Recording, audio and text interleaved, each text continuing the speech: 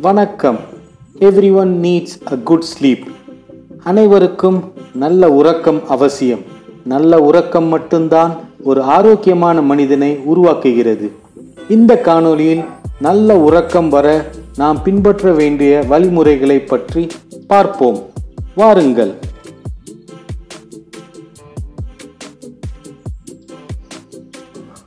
Check your pillow position உங்கள் தலையணையின் நிலையை சரிபார்க்கவும்.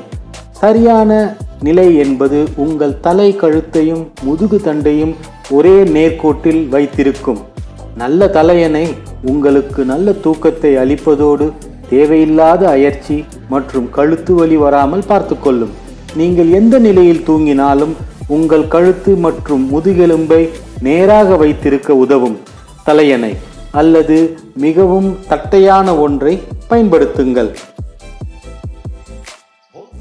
Eliminate sneaky light sources light is a powerful signal to your brain to be awake அறையில் தேவையற்ற வெளிச்சங்களை அகற்றவும்.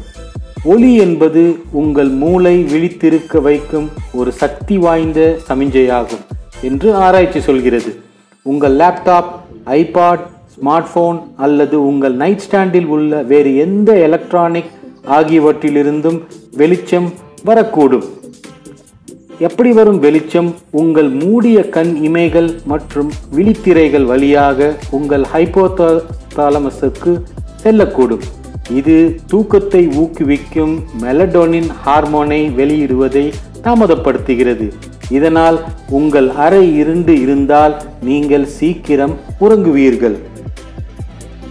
Spray sleep inducing scent தூக்கத்தை தூண்டும் வாசனை திரவியங்களை தெளிக்கவும். லாவெண்டர் கேமமில் மற்றும் சந்தனம் போன்ற சில வாசனைகள் உங்கள் மூளையின் பின்புறத்தில் உள்ள ஆல்ஃபா அலை செயல்பாட்டை அதிகப்படுத்துகின்றன.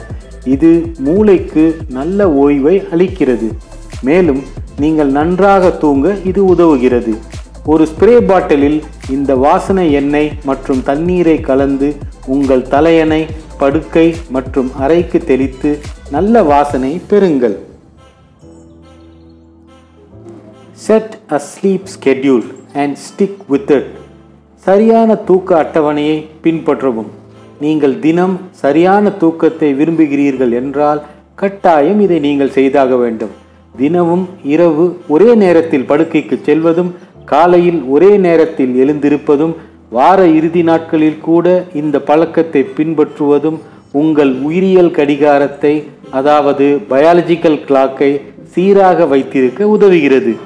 நீங்கள் நன்றாக ஓய்வெடுப்பீர்கள்.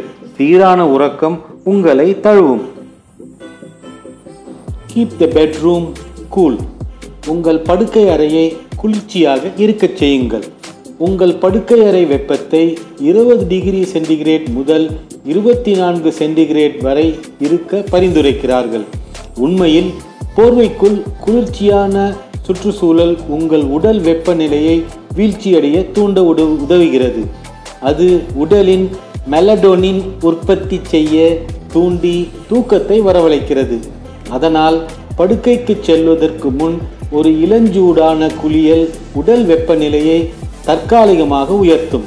அதன் பிறகு அது படிப்படியாக குளிரான காற்றால் குறைகிறது.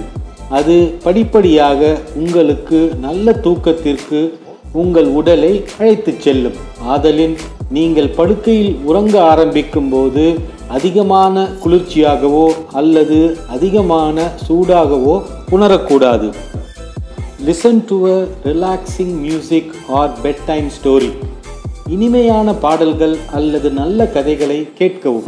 உறங்கும் முன் உங்களுக்கு மிகவும் பிடித்த அமைதியான பாடல்களை மற்றும் நல்ல கதை தொகுப்புகளை கேட்கவும். ஆனால் இவை உங்கள் தூக்கத்தை வரவழைப்பதற்கான இசையாக இருக்க வேண்டும். அமைதியான இசை மற்றும் உங்களுக்கு பிடித்த படுக்கை நேர கதைகள் உங்கள் தூக்கத்திற்கு நன்றாக வேலை செய்யும். Skip. Coffee and drink warm milk நீங்கள் காஃபி பிரியராக இருக்கலாம். ஆனால் உங்களுக்கு நல்ல உறக்கம் வேண்டுமானால் நீங்கள் இரவு உணவுக்கு பின் காபி அருந்துவதை தடுக்க வேண்டும். காப்பியில் உள்ள கஃபீன் உங்கள் மூளையை ஓய்வு எடுக்க விடாமல் இருக்க வைப்பதால் உங்கள் உறக்கம் தடைபடும். ஆதலின் இளஞ்சூட்டில் இருக்கும் பால் அருந்துவது சாலச்சிறந்தது இது உங்கள் இரவு தூக்கத்திற்கு மிகுந்த உறுதுணையாக இருக்கும்.